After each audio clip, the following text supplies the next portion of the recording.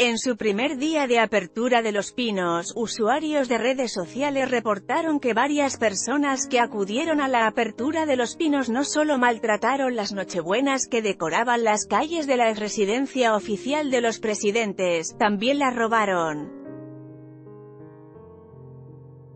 Así, como si fueran centros de mesa de las fiestas, los visitantes tomaron las nochebuenas y se las llevaron como recuerdo de asistieron a la apertura de los pinos. Videos y fotos que circulan en redes sociales, muestran cómo lucían las calzadas con las nochebuenas a la apertura del museo y cómo quedó después de los supuestos robos.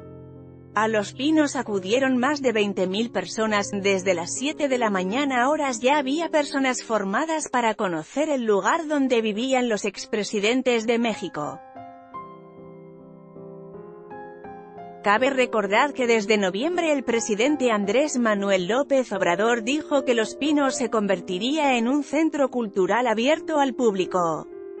Puedes ver, Los Pinos abren sus puertas al público, así luce en su interior la residencia oficial estará abierta a todo el público de martes a domingo con un horario de 10 de la mañana a 5 de la tarde horas.